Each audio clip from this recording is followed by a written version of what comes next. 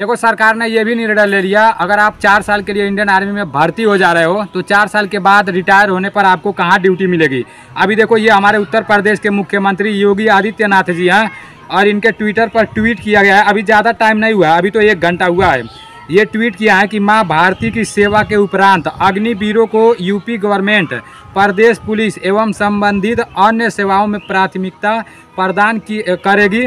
युवाओं के उन्नयन एवं उनके सुरक्षित भविष्य के लिए भाजपा डबल इंजन की सरकार सतत समर्पित व पूर्ण प्रतिबंध है। ये देख लिया भाई ये हमारे उत्तर प्रदेश के मुख्यमंत्री योगी आदित्यनाथ जी हैं। लाखों युवा का यार मैं क्या बताऊँ भाई? अब तो इंडियन आर्मी का नाम भी छीन लिया गया। इंडियन आर्मी से अग्निवीर कहलाएगा ऐसा बोल रहे हैं सब। तो बहुत सारे लोगों को तो नाम ही नहीं पसंद है भाई। फिर वो लोग इंडियन आर्मी की तैयारी कहाँ से करेंगे? हमारे देश की सेना कहाँ से मज़बूत होगी यार? देखो, अभी कल ही से मैं स्टेटस देख रहा था। अभी खुद मैं, जैसे मेरे मोबाइल पर मैं देख रहा था ना, सौ, डेढ़ सौ लोग बस एक ही स्टेटस लगाए थे उसमें तीन लोगों का फ़ोटो लगाकर और उस पर रीप रीप लिखे थे। आप सभी लोगों को पता हो गया होगा कि किन का किन का फ़ोटो उसमें लगा होगा, ठीक है ना? सब लोग रीप रीप लिख रहे थे। और जितने लोग भी इंडियन आर्मी की तैयारी करते हैं ना, एक भी युवा खुश नहीं है। आखिर ऐसा क्यों किया जा रहा है यार? सुनने में आ रहा है ना, जो इसके ऊपर वीडियो बना रहा है, इसके ऊपर आवाज़ उठा रहा है, उसको बहुत ज़्यादा प्रेशर दिया जा रहा है। और वो भी सिविलियन के तरफ़ से नहीं, पुलिस वालों के तरफ़ से। उनका कहना ये है कि ये टीओडी वाली भर्ती बहुत अच्छी है। तो कहाँ से अच्छी है यार? एक तो चार साल के लिए तुम भर्ती करोगे और दूसरा नंबर सैलरी, हमारे ही सैलरी में से कटौती करके और जब हम रिटायर होंगे तो हम ही को दे दोगे सूद ब्याज जोड़ के। हम वही पैसा लेकर अगर दूसरे को दे देते तो वो नहीं हमारा ब्याज देता, वो भी तो हमारा ब्याज दे देता।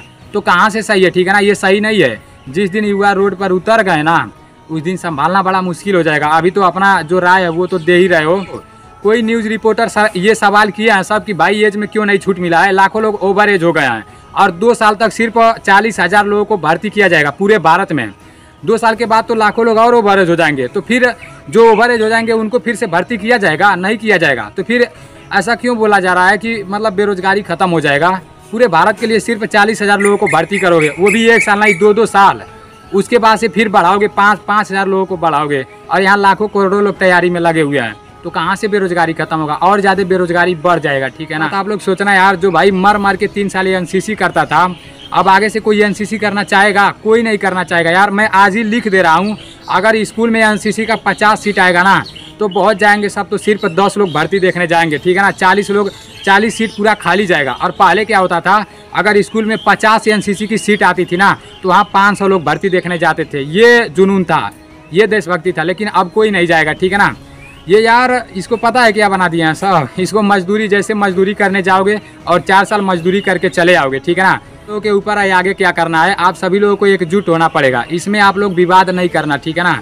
अब देखते हैं आगे जो कुछ भी होगा। मैं आप लोगों को बताऊँगा, वैसे अपनी भी लाइफ खराब ही कर दिए सब। एक सपना था कि इंडियन आर्मी का नाम मिलेगा ब्रांड होगा, तैयारी करते थे, लेकिन ऐसा कर दिए सपना पूरा का पूरा सपना खत्म हो गया। पूरा का पूरा सपना तोड़ दिए सब।